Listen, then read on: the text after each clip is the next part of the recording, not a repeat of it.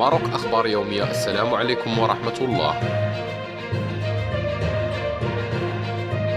عرفت أقاليم تطوان وشفشاون والحسيمة والناظور ظهور سحب كثيفة ذات اللون البرتقالي في مشهد غريب لم يعتده ساكنة تلك المدن. وأصيب العديد من المواطنين بالقلق والدهشة جراء هذه الظاهرة حيث قام بعضهم بتوثيقها عبر نشر صور ومقاطع فيديو لها على مواقع التواصل الاجتماعي. وحسب خبراء فسبب هذه الظاهرة المناخية هو المنخفضات الرطبة التي عرفها المغرب في الأيام الأخيرة حيث ولدت جبهات الطقس الشديدة رياحا قوية يصل قطرها إلى عدة مئات من الكيلومترات.